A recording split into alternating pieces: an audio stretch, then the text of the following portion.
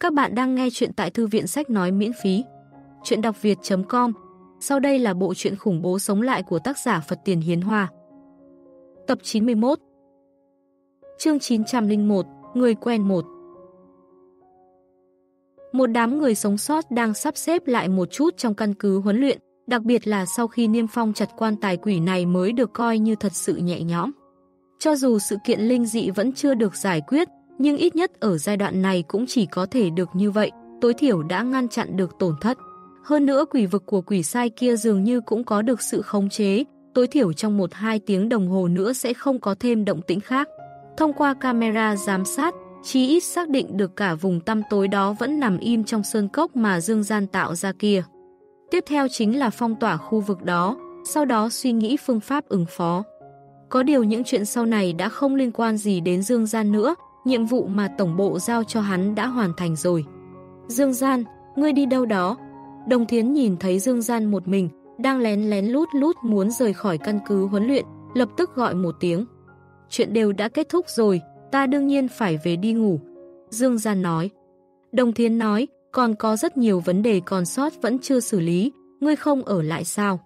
Sau đó bên phía tổng bộ chắc là vẫn còn một cuộc họp nữa. Vấn đề còn sót đó có thể xem là vấn đề sao. Chuyện họp hành thì để sau thông báo cũng được. Dương Gian nói, anh chân, ngươi muốn đi đâu nghỉ ngơi vậy? Về khách sạn sao?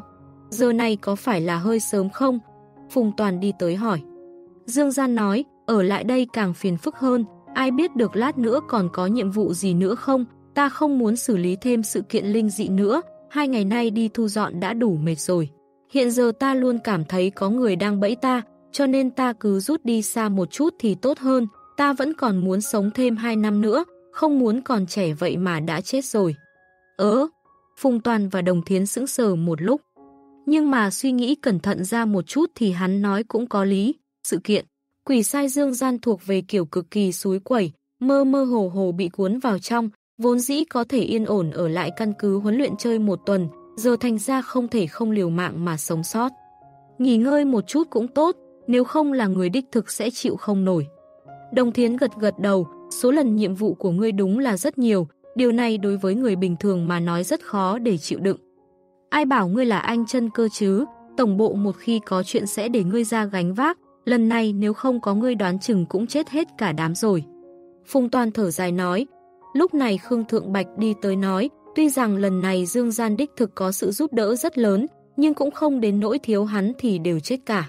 Người mà tổng bộ bên đó phái đến chi viện không chỉ có một người, ta tin rằng nhiệm vụ lần này là do Dương Gian chủ động nhận lấy, nếu không với tính cách của ngươi tuyệt đối sẽ không đi chuyến này.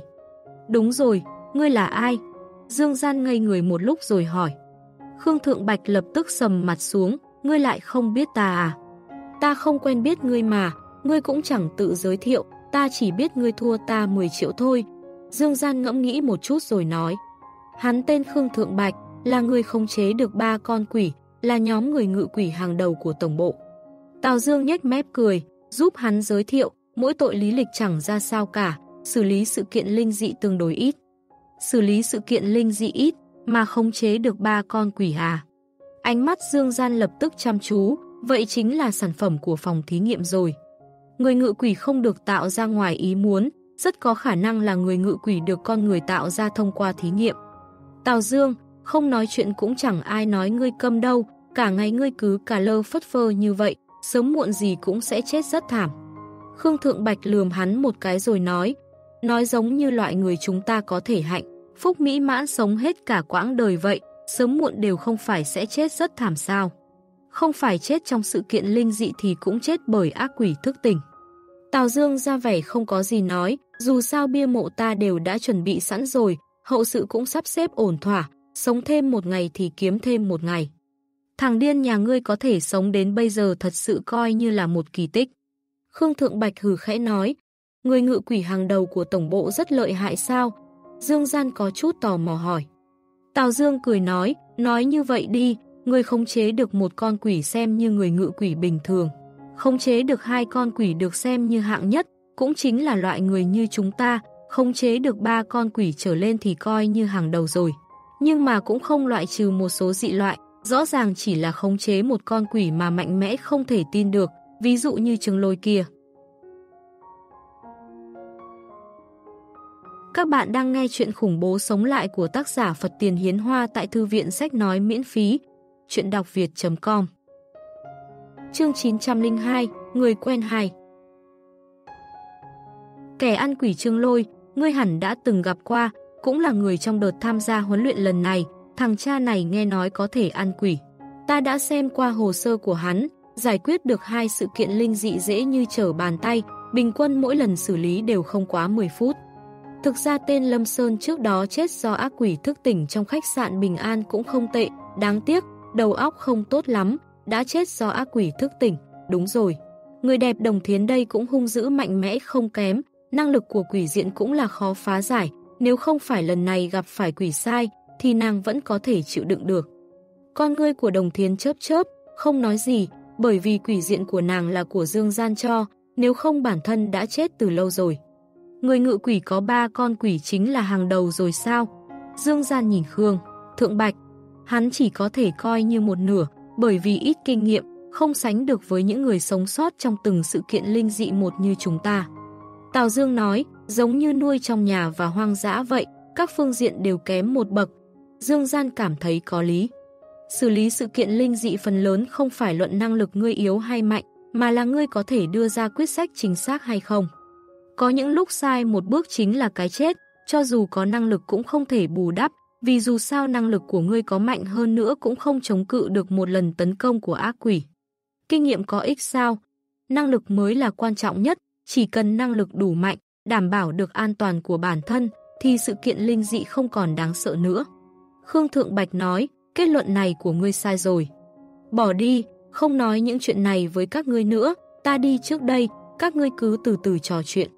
Dương Gian cảm thấy tranh luận cái này chẳng có ý nghĩa gì, hắn cảm thấy bản thân đợi sau khi chuyện này kết thúc tạm tạm thì tìm thời gian nào đó trở về thành phố Đại Sương. Nếu tiếp tục ở lại thành phố Đại Kinh dường như không có lợi ích gì đối với bản thân. Hơn nữa sẽ còn bị cuốn vào nhiều chuyện rắc rối hơn nữa, nhanh chóng rút ra rời đi mới tương đối phù hợp với mục đích của bản thân. Những người khác nhìn thấy Dương Gian rời khỏi ngay lập tức cũng mất đi hứng thú tiếp tục trò chuyện. Trước lúc đi khỏi Tào Dương cười nói, nếu như Dương Gian trở thành đội trưởng, ta không hề có ý kiến gì, năng lực của hắn bày ra trước mắt, hội thân hữu của các ngươi có thể lấy được mấy suất. Đây là chuyện của bọn ta, không liên quan gì đến ngươi, dù sao hy vọng của ngươi không lớn. Khương Thượng Bạch nói, nghe nói người của hội thân hữu các ngươi đã từng tiếp xúc với Dương Gian trước. Ánh mắt Tào Dương khẽ chớp, cất tiếng nói, có phải quá trình tiếp xúc không khiến người ta hài lòng cho lắm. Ngươi càng ngày, càng thích lo chuyện bao đồng đấy. Tào Dương cười cười, ta còn cần lo chuyện bao đồng sao. Đoán đều đoán ra được, các ngươi tiếp xúc với Dương Gian quá sớm, lúc mới bắt đầu khẳng định rất bài xích hắn, quá trình tiếp xúc này nhất định không thân thiện cho lắm. Hiện giờ năng lực mà Dương Gian thể hiện ra khiến các ngươi cảm thấy kiêng rẻ, cho nên hiện giờ đã có chút hối hận rồi. Cũng may Dương Gian còn chưa biết ngươi là người của hội thân hữu, nếu không thì tiện tay bẫy ngươi chết ở đây cũng không ai biết được. Gương mặt của Khương Thượng Bạch lập tức đen xỉ. Tuy rằng lời nói của Tào Dương rất chối tai, nhưng không thể phủ nhận lời này là đúng. Người của hội thân hữu bọn họ đích thực không coi Dương Gian ra gì, cảm thấy hắn là một cái gai chiếm suất đội trưởng, nếu như không thể lôi kéo thì tốt nhất nên nhổ đi. Nhưng mà ai cũng không ngờ được, sự kiện quỷ sai lần này Dương Gian đã biểu hiện quá mức trói mắt. Quan trọng nhất là, năng lực cá nhân của Dương Gian đã càng ngày càng tiếp cận đến con quỷ thực sự. Người như vậy xử lý sự kiện linh dị đã mạnh mẽ như vậy, sau này nếu xử lý người khẳng định còn lợi hại hơn. Cho nên, hiện giờ Khương Thượng Bạch có chút khó xử, không biết phải xử lý quan hệ với Dương Gian như thế nào. Nếu như là bản thân hắn, chắc chắn không lôi kéo cũng không đắc tội, một suất đội trưởng cũng đã nhường rồi.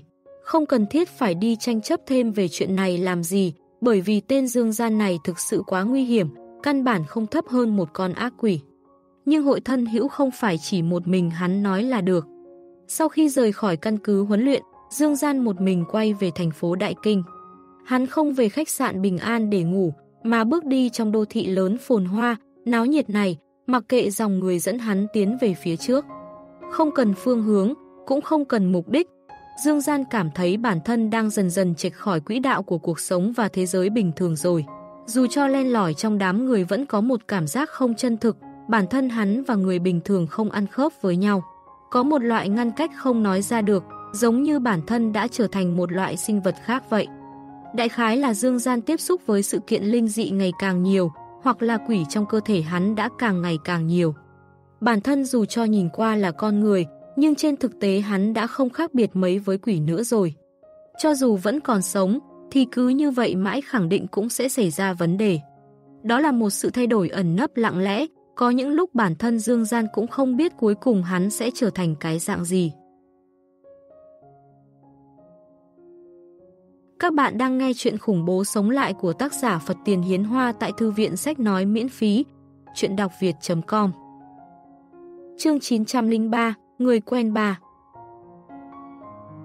Vấn đề ác quỷ thức tỉnh của bản thân tạm thời đã được giải quyết, nhưng vấn đề cơ thể chuyển biến xấu thì vẫn đang tiếp tục. Dương Gian lúc này đang cúi đầu cho mày. Đây là một loại hiện tượng không thể nào tránh khỏi, hắn vĩnh viễn không có cách nào sở hữu cơ thể của người bình thường. Trong tình huống cơ thể có quỷ chịu ảnh hưởng là điều rất bình thường, những người ngự quỷ khác cũng không chắc tốt hơn mình ở chỗ nào. Có điều tốc độ chuyển biến xấu này trong vòng một năm khẳng định sẽ không có vấn đề gì, nhưng không chống đỡ nổi nếu thời gian dài. Bỏ đi, vấn đề này sau này từ từ nghĩ cách giải quyết vậy. Lắc lắc đầu, hắn không lăn tăn về chuyện này quá lâu. Đã có thể sống sót coi như rất may mắn rồi, một vài ảnh hưởng nhỏ không phải là không thể chịu được. Không biết đã đi trên con đường thành phố Đại Kinh mất bao lâu, cũng không biết đã đi đến những nơi nào, cuối cùng Dương Gian cảm thấy hơi mệt nên tìm một chiếc ghế nghỉ ngơi gần đó ngồi xuống. Đối với hắn mà nói, lúc không cần lo lắng sự kiện linh dị xuất hiện chính là một sự thư giãn cực kỳ lớn. 4. Dĩ nhàm chán muốn giết thời gian, hắn mò lấy điện thoại của mình ra, chuẩn bị xem thử livestream gần đây của Trương Vĩ. Thế nhưng vừa mới chuẩn bị mở điện thoại, Dương Gian liền nhìn thấy màn hình điện thoại giống như đã chịu ảnh hưởng của thứ gì đó. Bắt đầu chớp tắt liên tục, giống như tiếp xúc không tốt, tiếp theo đó cả màn hình điện thoại đen thui. Hỏng rồi à, khóe miệng Dương Gian khẽ giật, nhìn vào bàn tay nhợt nhạt hơi cứng ngắc này của mình. Quỷ thủ trong lúc vô thức đã có thể ảnh hưởng đến đồ vật thật rồi sao? Sau này phải chú ý mới được, lúc này không thể tùy tiện tiếp xúc với bất cứ cái gì. Dương Gian cảm thấy cánh tay quỷ này có chút nguy hiểm, năng lực của nó tuy rằng vẫn đang tìm tòi, nhưng không thể không phòng bị. Để tránh lần sau vô ý gây ra tổn thương gì đó. Thôi vậy, trở về thôi, đoán chừng ngày mai vẫn phải họp. Dương Gian nhìn đồng hồ, chuẩn bị ăn chút gì đó rồi trở về khách sạn. Nhưng mà đúng lúc hắn đang định đứng lên. Trước mặt, một đôi chân thon thả, trắng nõn đã thu hút sự chú ý của hắn. Hửm, Dương Gian, thật sự là ngươi, ta còn cho rằng đã nhìn nhầm cơ. Một giọng nói êm tai có chút vui mừng vang lên, tiếp đó trước mắt không biết từ lúc nào đã có một cô gái đáng yêu, dáng vẻ ngọt ngào, thân hình nhỏ nhắn xinh xắn đang đứng. Nàng mặc một chiếc váy liền, một đôi mắt sáng rỡ đang đảo mấy vòng trên người Dương Gian. Bên cạnh, còn có thêm hai ba bạn nữ nữa, nhìn qua chắc là bạn bè. Miêu Tiểu Thiện. Lúc Dương Gian ngẩng đầu lên nhìn cho rõ lập tức hơi sững người một chút, sao ngươi đến thành phố Đại Kinh vậy? Trước đây không phải nói rồi sao, ta phải chuyển trường để tham gia cao khảo, bây giờ thi xong rồi, ta đến đây để đi học mà, sao vậy, Trương Vĩ không nói gì với ngươi à? Ta đã nói với hắn lúc trong livestream của hắn còn gì. Miêu Tiểu Thiện nở nụ cười ngọt ngào.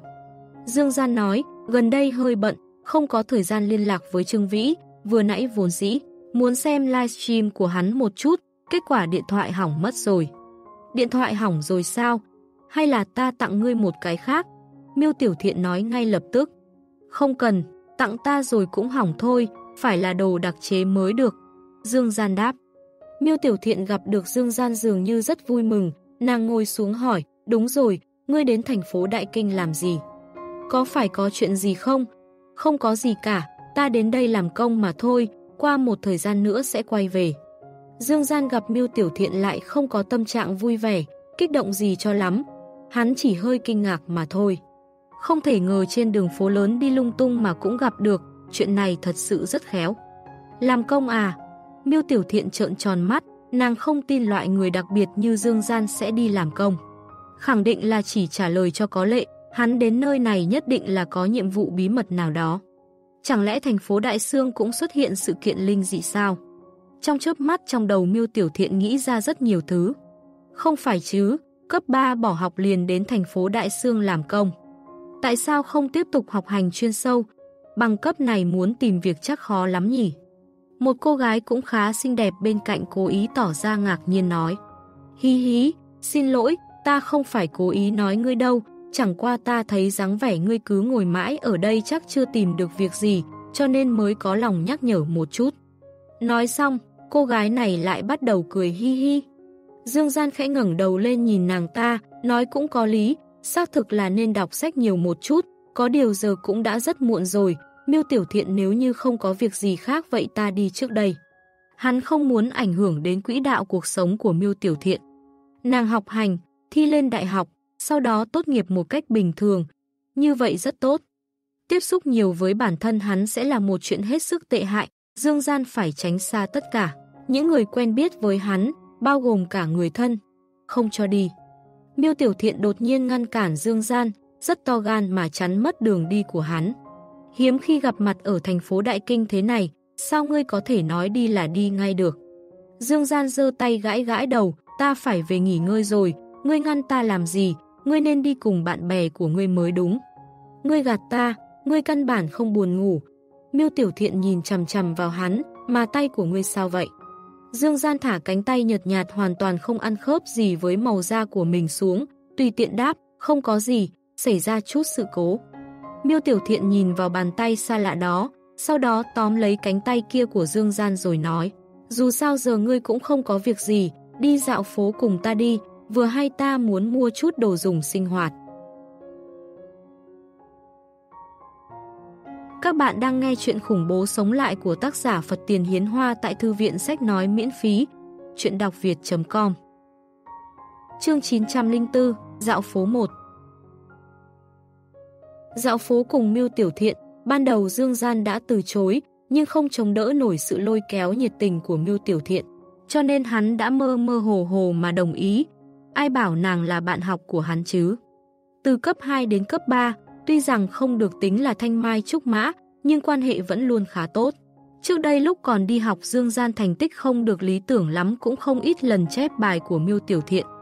Nhưng từ sau khi Trung học phổ thông số 7 xuất hiện sự kiện linh dị, cuộc sống học đường đó đã bị phá vỡ hoàn toàn. Khoảng thời gian này Dương Gian đã trải qua rất nhiều chuyện, hắn đã không còn là một học sinh đi học trong trường trước đây nữa. Mà Miêu Tiểu Thiện vẫn tiếp tục quỹ đạo sinh hoạt của mình, học tập, thi cử, lên đại học, tương lai nếu như tất cả thuận lợi thì sẽ tốt nghiệp. Vào một doanh nghiệp có tiếng nào đó để làm một công việc tương đối vẻ vang, cuối cùng nếu không có gì, sơ sót, cũng sẽ quen biết với một anh tài, rồi kết hôn sinh con, hạnh phúc mỹ mãn sống hết cuộc đời này. Dương Gian đi đằng sau đang nhìn theo miêu tiểu thiện xinh đẹp rạng rỡ, hoạt bát đầy sức sống mà không nói lời nào. So với nàng, bầu không khí xung quanh hắn nặng nề, hơi thở lạnh giá, tình cảm hờ hững. Càng ngày càng giống một người chết, nếu như không phát sinh chuyện ngoài ý muốn, tương lai hắn sẽ chết trong một sự kiện linh dị nào đó, hoặc là sẽ chết bởi ác quỷ thức tỉnh của bản thân. Mà người sống, không nên có quan hệ gì với người chết. Miêu Tiểu Thiện, có lẽ ta nên đi rồi, ngày mai chắc ta vẫn phải đi họp nữa. Đại khái nửa tiếng đồng hồ sau, Dương Gian trầm mặc một lúc lâu cuối cùng lên tiếng. Hắn muốn tìm lý do để rời đi, bên trong trung tâm thương mại. Nhưng miêu tiểu thiện giống như không nghe thấy gì, nàng quay người, trong tay đang cầm một cái váy liền kiểu dáng mới rồi nói, Dương Gian, ngươi cảm thấy cái váy này có đẹp không? Cũng tạm. Dương Gian nói, miêu tiểu thiện không đợi hắn nói tiếp, cười hì hì rồi nói, vậy ngươi đợi ở đây, ta vào phòng thay đồ thử một chút, ngươi không được lén chuồn đi đâu đấy. Nói xong, nàng cầm lấy chiếc váy đi thẳng vào phòng thay đồ. Miêu Tiểu Thiện, ta cũng phải đi thử quần áo, cùng đi đi. Một bạn học bên cạnh Miêu Tiểu Thiện cũng cười cười cầm lấy quần áo, rồi chuẩn bị cùng vào mặc thử. Ánh mắt Dương Gian chớp chớp, không biết có nên rời đi hay không. Này, ngươi tên Dương Gian phải không? Ta là Lưu Tử, là bạn cùng phòng đại học của Miêu Tiểu Thiện. Một cô gái thân hình khá cao giáo khác lúc này ánh mắt đột ngột chuyển sang, cười cười đánh giá Dương Gian, nghe cuộc đối thoại vừa rồi của ngươi và Miêu Tiểu Thiện, ngươi và nàng là bạn học cấp 3 à? Ừm, đúng là như vậy. Dương Gian đáp, Lưu Tử nói, ngươi là không thi được lên đại học nên đến thành phố Đại Kinh làm thêm sao? Đại khái là vậy. Dương Gian cũng không ngẩng đầu lên, chỉ thuận miệng trả lời. làm thêm vất, và lắm nhỉ. Lưu Tử cười nói, tại sao không học lại một năm, cố gắng vào được đại học. Như vậy sau khi tốt nghiệp công việc cũng nhẹ nhàng hơn một chút, chí ít không cần giống như bây giờ không tìm được việc làm, còn phải ngủ ngoài đường. hửm Dương Gian sừng sốt một lúc, khẽ ngẩng đầu lên hỏi, lúc nào mà ta không tìm được việc làm, phải ngủ ngoài đường vậy. Đừng có gạt người nữa, từ nhỏ ta đã sống ở đây, người đến thành phố Đại Kinh làm công ta đã thấy nhiều rồi. Vừa nhìn đã nhận ra ngay, ngươi khẳng định là không tìm được việc, trên người không có tiền chuẩn bị phải ngủ ngoài đường. Lưu Tử nói tiếp, ta thật lòng khuyên ngươi nên trở về học thêm đi, ngươi làm thêm thế này không có tiền đồ gì đâu. Ngươi nhìn Mưu tiểu thiện mà xem, thành tích cao khảo tốt như vậy, dựa vào bản thân mà vào được trường đại học tốt nhất thành phố Đại Kinh, hoàn cảnh gia đình cũng không thua kém gì ta. Người như vậy đều đang nỗ lực, ngươi dựa vào cái gì mà không cố gắng chứ? Trong lời nói của nàng, có thừa cảm giác yêu Việt. Có điều trước mặt Dương Gian, Lưu Tử đích thực có được tư cách này. Nàng trẻ trung xinh đẹp, còn là sinh viên của trường đại học danh tiếng, hoàn cảnh gia đình ưu tú, nếu so sánh người người làm thuê bình thường. Hoàn toàn là người của hai giai cấp khác nhau, tuy rằng nàng ta đang khen ngợi mưu tiểu thiện, nhưng cũng gián tiếp khoe khoang bản thân mình một chút. Ồ, Dương Gian chỉ thuận miệng đáp lại một câu. Ồ, đây là ý gì? Lưu Tử ngơ ngác một chút, thân sắc cổ quái chăm chú nhìn Dương Gian, ta nói nhiều như vậy chẳng lẽ ngươi vẫn không hiểu sao? Hiểu cái gì? Dương Gian nghi ngờ hỏi. Đương nhiên là không hy vọng ngươi ảnh hưởng đến việc học hành của Mưu Tiểu Thiện. Lưu Tử nói. Dương Gian nói, ta không cảm thấy ta sẽ ảnh hưởng đến việc học của nàng, hôm nay chỉ tình cờ gặp gỡ mà thôi. Sao lại không chứ? Nếu như ngươi cứ thường xuyên gọi điện hẹn Mưu Tiểu Thiện ra ngoài, đấy không phải ảnh hưởng thì là gì? Tuy rằng, ta không phải loại người thích lo chuyện bao đồng, nhưng có thế nào ngươi cũng phải có chút điều kiện để hẹn hò chứ, ta không muốn miêu tiểu thiện bị người ta lừa. Lưu tử khẽ hừ một tiếng, làm như vô tình nói. Các bạn đang nghe chuyện khủng bố sống lại của tác giả Phật Tiền Hiến Hoa tại Thư viện Sách Nói miễn phí, chuyện đọc việt.com Chương 905, Dạo phố 2 Dương Gian nhìn nàng, nghĩ ngẫm một chút, sau đó bật cười, ta hiểu rồi, ngươi cảm thấy bạn cùng phòng của mình xuất sắc như vậy. Nếu như ra ngoài hẹn hò với một tên khố rách áo ôm, truyền ra ngoài ngươi cũng sẽ bị mất mặt theo phải không? Sắc mặt của Lưu Tử có vẻ không tốt lắm. Thằng cha này vậy mà nói đúng tâm tư của mình. Nàng cảm thấy người xuất sắc nên ở cùng với người xuất sắc, sau này bất luận là công việc hay là cuộc sống đều có thể hỗ trợ nhau cùng có lợi. Nếu như quen biết một vài người vô dụng, chỉ sẽ hạ thấp đẳng cấp của mình xuống, còn sẽ ảnh hưởng đến sự nghiệp bản thân sau này. Thực ra ngươi không cần phải như vậy, ta và các ngươi là hai loại người khác nhau, nếu như không có sự cố gì, vĩnh viễn cũng sẽ không có qua lại, cho nên ta làm việc của ta, ngươi học tập của ngươi. Như vậy là tốt lắm rồi, có điều miêu tiểu thiện và ta như thế nào, là chuyện giữa hai chúng ta, ngươi không thân không thích gì, vừa mới gặp mặt đã thuyết giáo ta, như vậy có tốt không? Dương Gian nói, vì dù sao cũng là sinh viên, tố chất tu dưỡng tối thiểu cũng nên có chứ, chẳng lẽ không biết rằng động một chút lên mặt thuyết giáo người khác là điều đáng ghét nhất sao? Ta có lòng mới khuyên ngươi, không tiếp nhận thì thôi đi, còn mắng người à? Lưu tử trợn mắt, liếc nhìn một cái với vẻ chán ghét. Ngươi không phải xuất phát từ lòng tốt đâu nhỉ, sao ta cảm thấy lời ngươi vừa nói cứ chối tai thế nào ấy? Dương Gian nói, lấy phương diện sở trường nhất của bản thân để so bì với mặt yếu kém nhất của người khác, chiếm được một chút ưu thế thì đã dương dương tự đắc, thậm chí là cảm thấy thắng lợi hoàn toàn rồi, như vậy thật sự tốt sao? Vậy ngươi nói một tên làm thuê như ngươi, có cái gì so sánh được với ta? Lưu Tử lập tức mở miệng hỏi, ví dụ như, ta có thể ở trong khách sạn bình an, ngươi không được. Dương Gian tiếp lời ngay, ngươi là đồ thần kinh à, ở khách sạn thì có gì ghê gớm. Ta thấy ngươi chưa từng ở khách sạn bao giờ nhỉ? Lưu Tử tức giận lập tức mắng chửi một câu. Lúc này Miêu Tiểu Thiện thay quần áo xong, bước ra, cười tươi giói, dương gian, ngươi nhìn xem, thế nào, có đẹp không? Mặc một chiếc váy liền màu xanh lá cây nhạt, càng làm tôn thêm vẻ tươi mát thoát tục của nàng, khiến người ta phải sững sờ.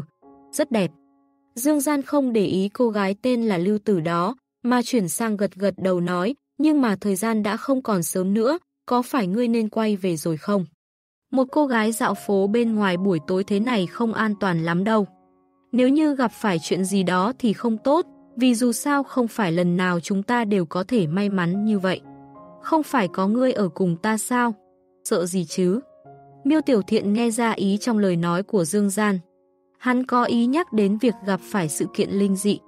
Dương Gian có chút bất đắc dĩ nói, có những chuyện ta cũng không xử lý nổi, ta đâu phải là vạn năng.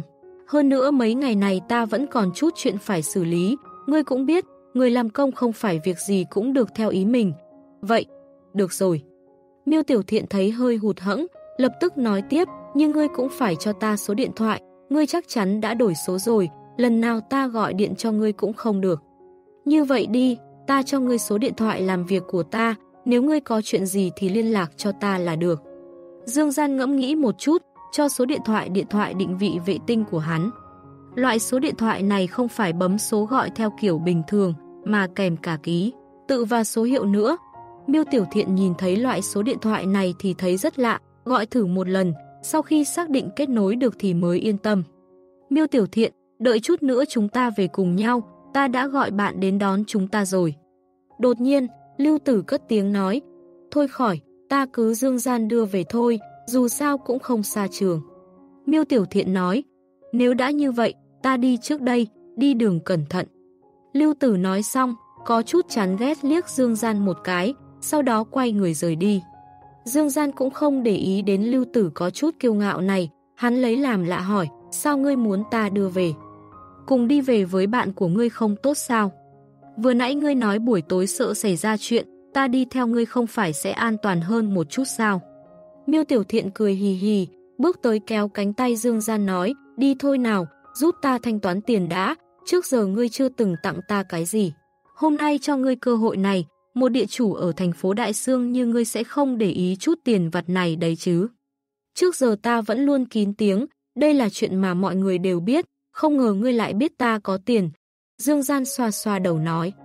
Vậy thì phải đi hỏi người anh em tốt trưng vĩ đó của ngươi bình thường trên mạng đã khoe khoang ngươi thế nào. Miêu Tiểu Thiện nói, ta cũng thường xuyên xem livestream của hắn, lần trước hắn đã đến nhà ngươi để livestream, còn nói tầng 5 nhà ngươi có quỷ, chuyện này có thật không vậy? Sắc mặt Dương Gian tối sầm, tên Trương Vĩ này không ngờ còn dám chạy lên tận tầng 5. Chỗ đó đích thực có quỷ, gương quỷ của hắn đặt tại một trong những căn phòng đó, còn có cả mấy con quỷ bị giam giữ. Xem ra mình phải đổi một chỗ khác an toàn để đặt mấy thứ đó mới được, không thể tùy tiện như vậy. Các bạn đang nghe chuyện khủng bố sống lại của tác giả Phật Tiền Hiến Hoa tại Thư viện Sách Nói miễn phí, chuyện đọc việt.com Chương 906, Thay đổi 1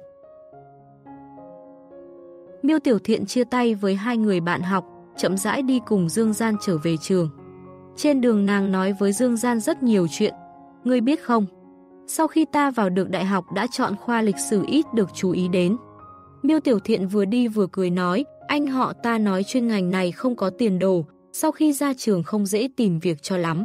Chắc chắn không có ích mấy cho sự phát triển tương lai của bản thân, nên chọn chuyên ngành khác thì hơn. Anh họ ngươi, Thượng quan Vân à, Dương Gian nghĩ tới anh họ đó của nàng. Là thằng cha suối quẩy đã từng bị nhốt vào trong gương quỷ, nhưng mà còn may được hắn cứu ra. Ừm, hắn thường nhắc tới ngươi với ta, nói là nếu có cơ hội nhất định phải mời ngươi dùng cơm. Miêu Tiểu Thiện nói, anh họ ngươi không sao thì tốt rồi, mời cơm gì đó không cần đâu. Dương Gian nói, Miêu Tiểu Thiện hỏi tiếp, bọn họ thì sao? Gần đây thế nào rồi? Ta chỉ biết Trương Vĩ dạo gần đây chơi livestream ở thành phố Đại Sương, những người khác đều bị mất liên lạc cả rồi, ngươi biết không? Bọn họ là chỉ mấy bạn học sống sót trong trung học phổ thông số 7. Tuy rằng có mấy người quan hệ không thân thiết lắm, nhưng đều là những người còn sống đã cùng trải qua sự kiện linh dị, giữa bọn họ đều sẽ có chút tiếng nói chung. Giống như chiến hữu đã từng đi chiến trường cùng nhau, sau khi sống sót vẫn sẽ luôn để tâm đến đối phương. Vương San San vẫn vậy, cơ thể nàng xuất hiện chút vấn đề. Dương Gian rất bình tĩnh nói, Tôn Nhân và Lưu Kỳ bọn họ đã rời khỏi thành phố Đại Sương từ rất lâu rồi, ta không thân với bọn họ, không có phương thức liên lạc, còn về triệu lỗi. Hắn chết rồi. Chết rồi sao? Cơ thể Mưu tiểu thiện hơi run, khẽ ngẩng đầu lên kinh ngạc hỏi, sao lại như vậy? Lần trước lúc gặp mặt vẫn còn tốt mà, sao đột nhiên? Nàng biết thường ngày Dương Gian và Trương Vĩ, triệu lỗi chơi khá thân với nhau, không ngờ chỉ mới thời gian mấy tháng, đã nghe được tin dữ của triệu lỗi, bất ngờ bị cuốn. Vào một sự kiện linh dị, ta muốn cứu hắn, nhưng đã thất bại, năng lực của ta lúc đó không đủ. Dương Gian nói, thực ra nói một cách chính xác, Vương San San cũng chết rồi, trạng thái hiện giờ của nàng như một người chết còn hoạt động. Tình cảm càng lúc càng nhạt, cơ thể càng lúc càng lạnh, nguyên nhân bởi vì ta. Lần trước trong cuộc gặp gỡ bạn học ngươi hẳn đã phát hiện được một chút thay đổi của nàng.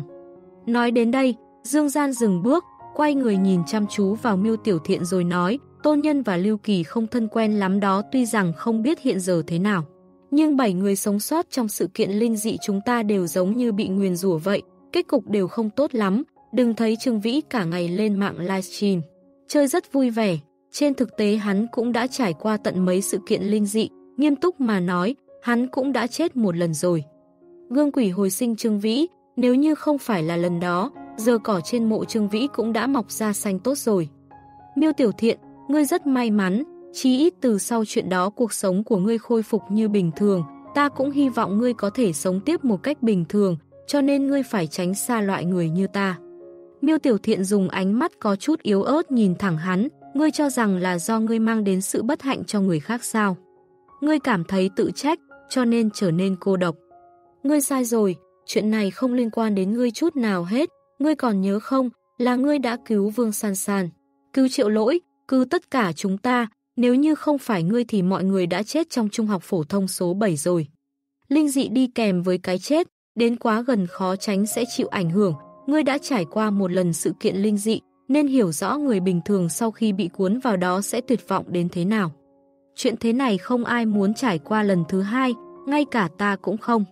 Dương Gian nói, mấy tháng này ngươi thay đổi rất nhiều. Miêu Tiểu, thiện không biết trả lời thế nào, chỉ khẽ nói, ta cảm thấy ngươi vẫn luôn đang mất đi thứ gì đó. Cái này là trưởng thành. Dương Gian nói, cho nên, sau này ngươi sẽ không liên lạc với ta nữa sao? Miêu Tiểu Thiện hỏi. Dương Gian quay đầu nhìn ra bầu trời u ám đằng xa rồi nói, nếu như trong tình huống không cần thiết, chúng ta nên ít liên lạc thôi, điều này tốt cho ngươi.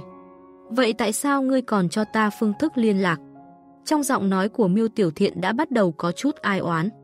Có lẽ một ngày nào đó ngươi sẽ cần giúp đỡ, hơn nữa liên lạc bằng điện thoại cũng không ảnh hưởng lớn tới ngươi. Dương Gian nói, lúc này Miêu Tiểu Thiện đã trầm mặc. Giờ nàng đã hơi thấu hiểu được hàm ý của một từ, cảnh con người đã khác. Gặp được Dương Gian một lần nữa, hắn đã không còn là Dương Gian trong ký ức nữa rồi, hắn thay đổi rất nhiều, cũng trở nên quá xa lạ. Các bạn đang nghe chuyện khủng bố sống lại của tác giả Phật Tiền Hiến Hoa tại Thư viện Sách Nói miễn phí, chuyện đọc việt.com Chương 907, Thay đổi 2 Bản thân nàng quen biết với Dương Gian ít nhất đã 6 năm, từ cấp 2 lên cấp 3, có thể nói là đi cùng cả một thời tuổi trẻ. Dương Gian trong trí hóc nàng đã được định hình, nhưng thay đổi hoàn toàn một người thì chỉ cần vỏn vẹn có 6 tháng. Ta không muốn như vậy. Miêu Tiểu Thiện lúc lâu sau mới nói được một câu, ta cũng không muốn. Dương Gian đáp. Hai người trầm mặc đi trên đường, những lời có thể nói đã trở nên càng ngày càng ít. Ngay giờ phút này, Lưu Tử mà trước đó sớm rời khỏi trung tâm thương mại giờ đang ngồi trên một chiếc siêu xe. Người lái xe là một thanh niên trẻ tuổi anh Tuấn, hắn tên là Lý Dương, là bạn trai của Lưu Tử. Không phải em đi dạo phố mua sắm cùng bạn học sao? Sao sớm như vậy đã về rồi, không phải xảy ra chuyện gì rồi chứ? Lý Dương quan tâm dò hỏi. Lưu Tử hừ khẽ một tiếng, không có gì, gặp phải một người khá đáng ghét mà thôi, thời buổi này. Mấy tên thần kinh không phải đặc biệt nhiều sao? Bạn học đó của em hẳn hoi vậy sao lại đi quen biết một người như thế? Có cần thiết phải tức giận đến mức đó không? Lý Dương cười nói. Đúng rồi, tối này em không muốn về trường nữa, em muốn đến khách sạn Bình An. Lưu Tử đột nhiên nói. Khách sạn Bình An sao? Lý Dương đang lái xe nụ cười đột nhiên tắt ngấm, dường như bắt đầu có chút hoảng hốt, trực tiếp đạp chân phanh dừng xe hỏi, sao em biết được khách sạn Bình An? Sao vậy? Có vấn đề gì à? Thành phố Đại Kinh có khách sạn này mà, vừa nãy em đã tìm kiếm trên điện thoại rồi. Lưu Tử nói, chỗ đó không mở cửa cho người ngoài, em vẫn nên đổi một khách sạn khác đi. Nụ cười của Lý Dương đã hơi miễn cưỡng, hắn tiếp tục đạp chân ga lái xe đi tiếp. Lưu Tử kinh ngạc nói, sao lại không mở cửa cho người ngoài? Người bạn đó của bạn học em chính là ở tại khách sạn Bình An, người như hắn đều ở được, tại sao chúng ta không thể? Rất đắt sao? Chẳng lẽ một đêm mất mấy chục ngàn? Cái gì?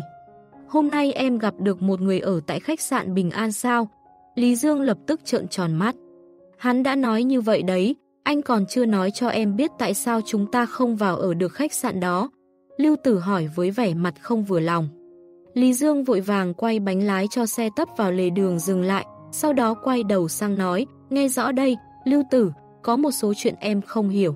Anh cũng không dám tùy tiện tiết lộ cho em nghe, tóm lại em phải ghi nhớ, trong thành phố Đại Kinh có hai loại người chúng ta không chọc tới được. Ngay cả tư cách có liên quan cũng không có, một loại người em hiểu rồi đấy, còn một loại người khác, chính là người có tư cách đến ở trong khách sạn Bình An. Đặc biệt là loại sau, em càng phải cảnh giác, trong tình huống có thể tránh xa được thì cố gắng tránh ra thật xa.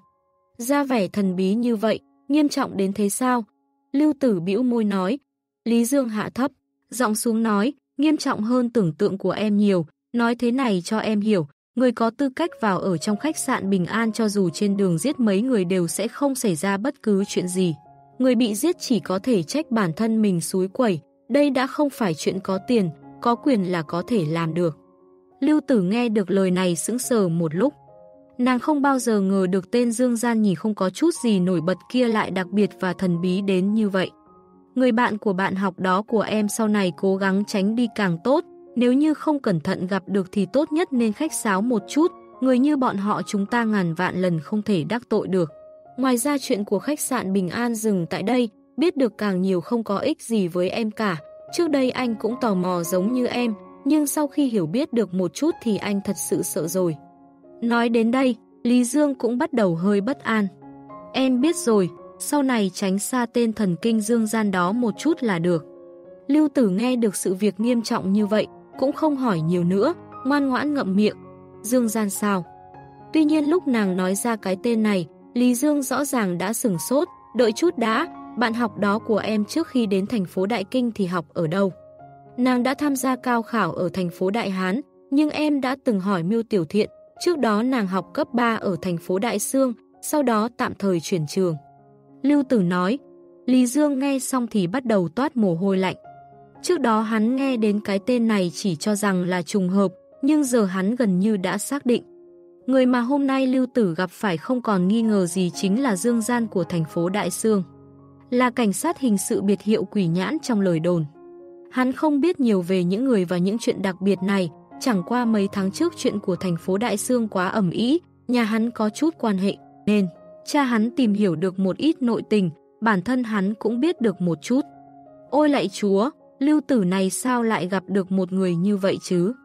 Trong lòng Lý Dương lúc này thấp thỏm không yên. Nhưng nhìn dáng vẻ không cho đấy là đâu của lưu tử, dường như vẫn chưa ý thức được tên Dương Gian mà nàng gặp trước đó rốt cuộc nguy hiểm và đặc biệt đến mức nào. Các bạn đang nghe chuyện khủng bố sống lại của tác giả Phật Tiền Hiến Hoa tại Thư viện Sách Nói miễn phí. Chuyện đọc việt.com Chương 908 Người ngự quỷ thứ nhất 1 Về nghỉ ngơi sớm một chút đi, học hành cho tốt, cả trung học phổ thông số 7 chỉ có mình ngươi lên được đại học. Hiện giờ ngươi chính là niềm tự hào của cả trường, đừng bao giờ học theo bọn ta, mấy người bọn ta không có tiền đồ gì rồi. Trương Vĩ sau khi bỏ học chỉ có thể đến công trường vác gạch, ta cũng chỉ có thể làm chút việc vặt kiếm cơm sống qua ngày, Vương San San giờ đang ở nhà chăm con. Dương Gian đưa Miêu Tiểu Thiện đến cổng trường, thanh khẩn dặn dò. Ngươi đây là đang khen ta hay nói đều vậy? Miêu Tiểu Thiện cười hỏi. Đương nhiên là khen ngươi rồi, ngươi còn vào được cả trường đại học của thành phố Đại Kinh, sao có thể khen đều ngươi được?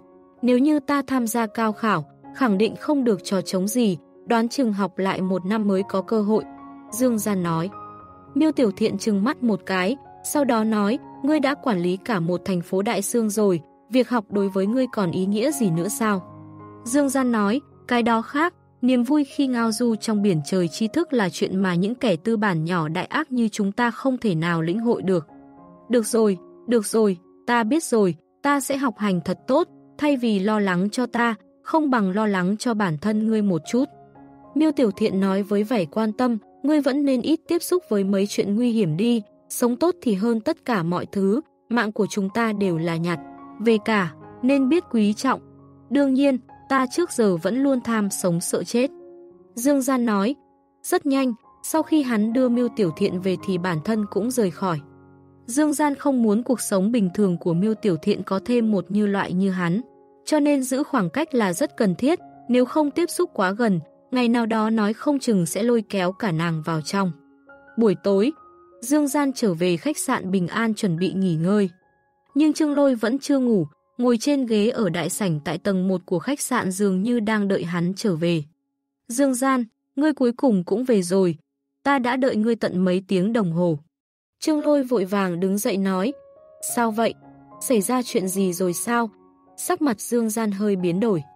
Trương Lôi bước tới hạ thấp giọng nói, thực ra cũng không phải chuyện gì đặc biệt, mà là ta phát giác được có chỗ không đúng, cho rằng cần thiết phải nói thông tin này cho ngươi nghe.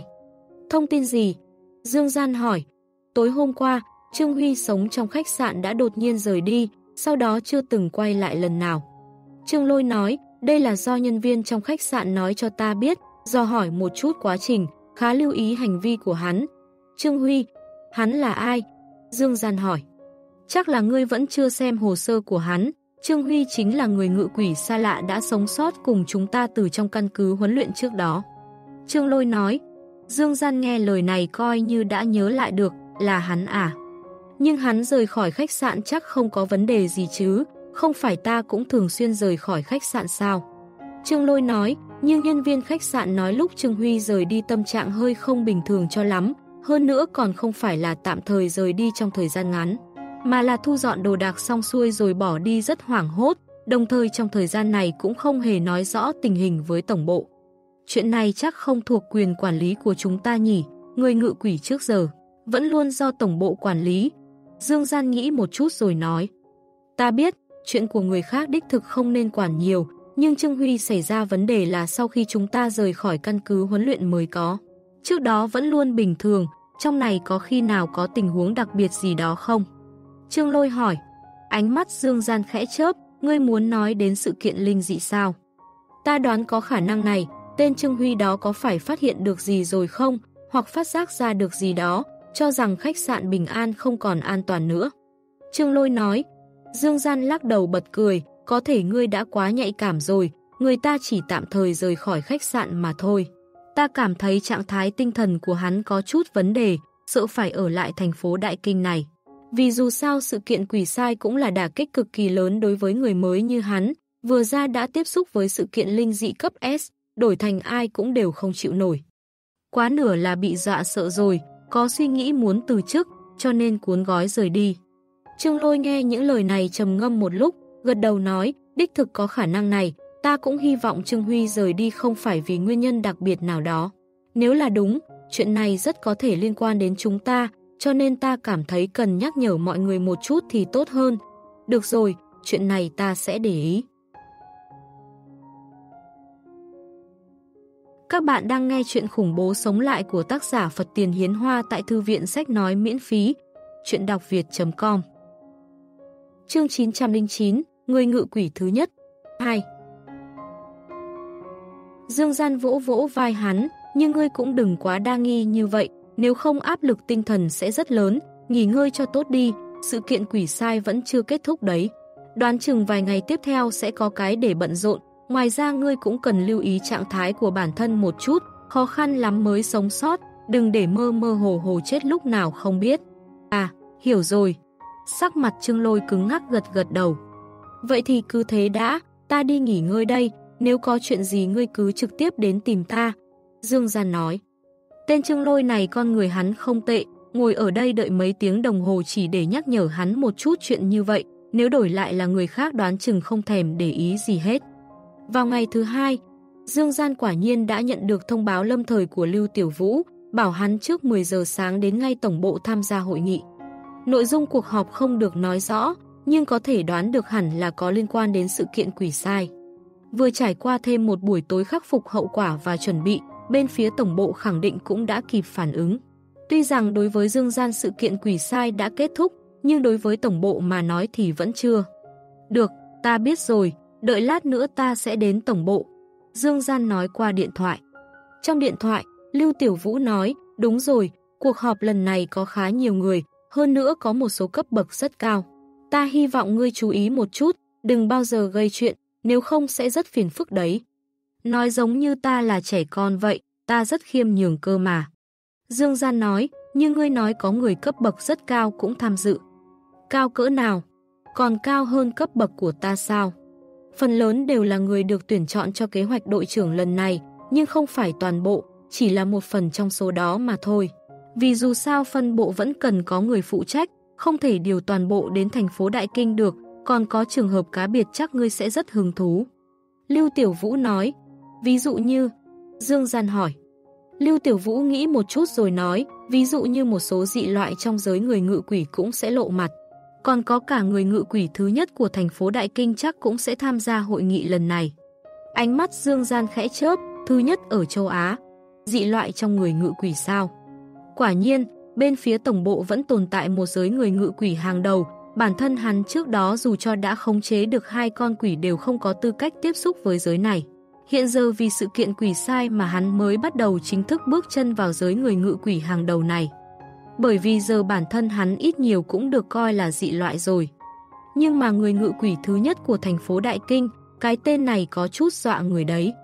Lưu Tiểu Vũ đều xưng tụng là người thứ nhất, vậy khẳng định đã được công nhận trong giới. Tổng bộ vẫn có người như vậy sao? Trước đó ta nhớ đã từng tiếp xúc với một người quản lý của diễn đàn linh dị, hình như tên là Diệp Trân, có phải hắn không nhỉ? Dương Gian nghĩ ngợi một chút, lập tức lắc đầu dập tắt suy nghĩ này.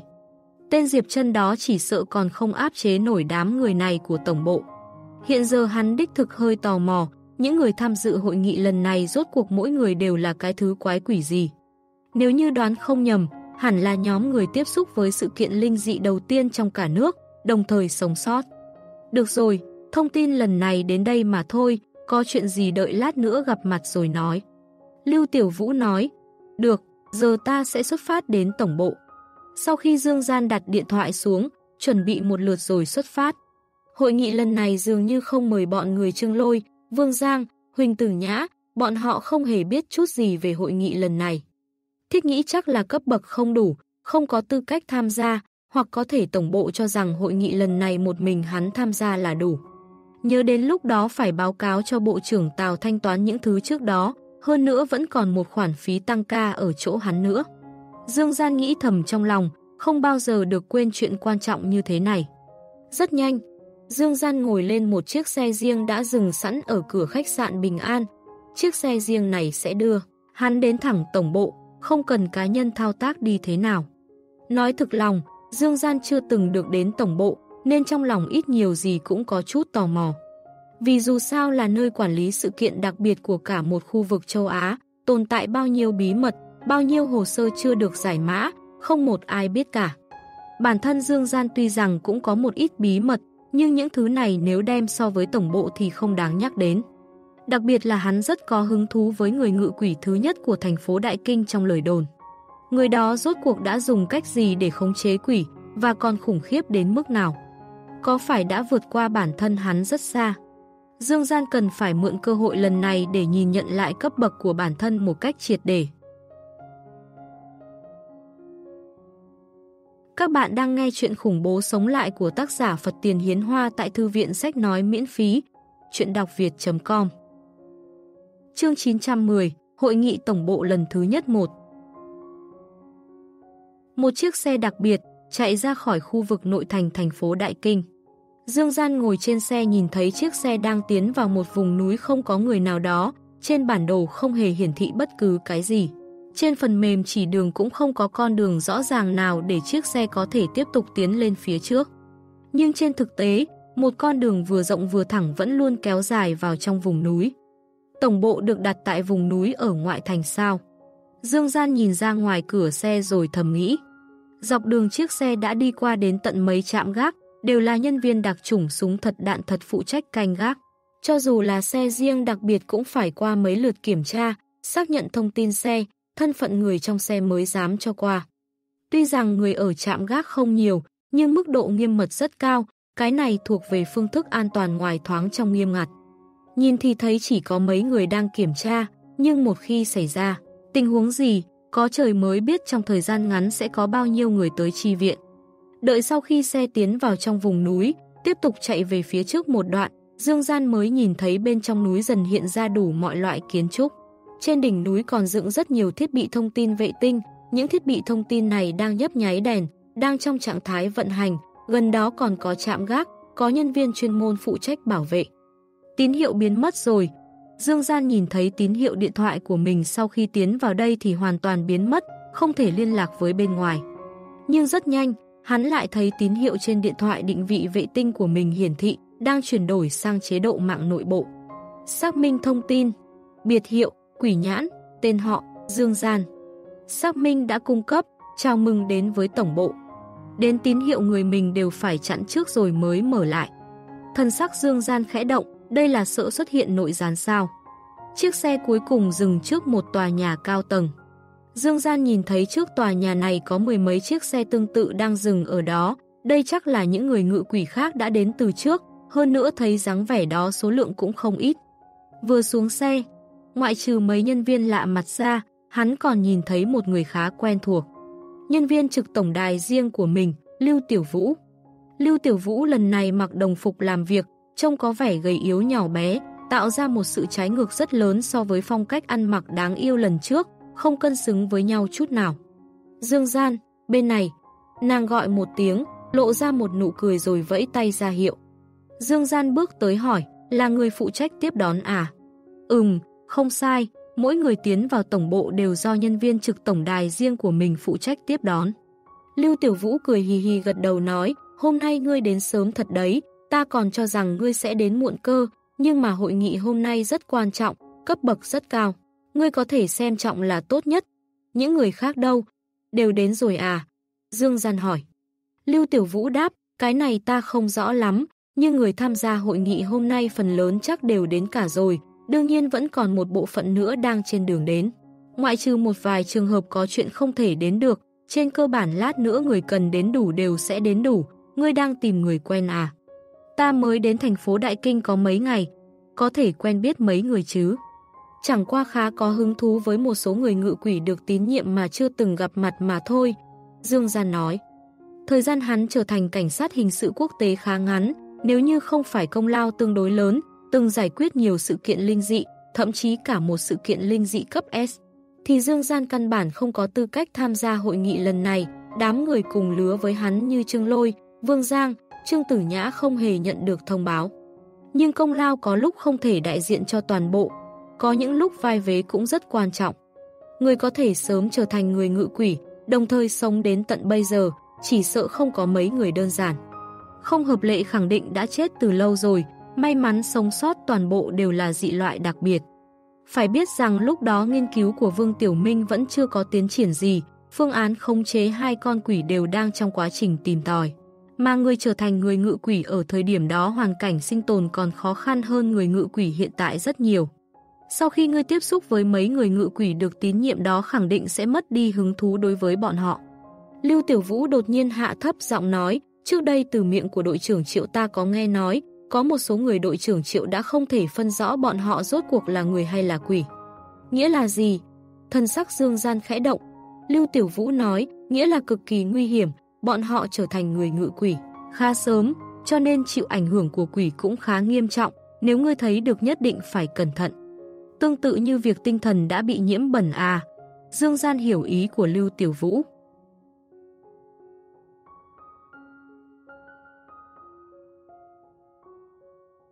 Các bạn vừa nghe xong tập 91 của bộ truyện khủng bố sống lại của tác giả Phật Tiền Hiến Hoa tại Thư viện Sách Nói miễn phí. Chuyện đọc việt.com Mọi ý kiến góp ý xin vui lòng cho mình biết ở dưới phần bình luận video này. Và các bạn đừng quên nhấn like và theo dõi để giúp kênh phát triển nhé. Xin cảm ơn.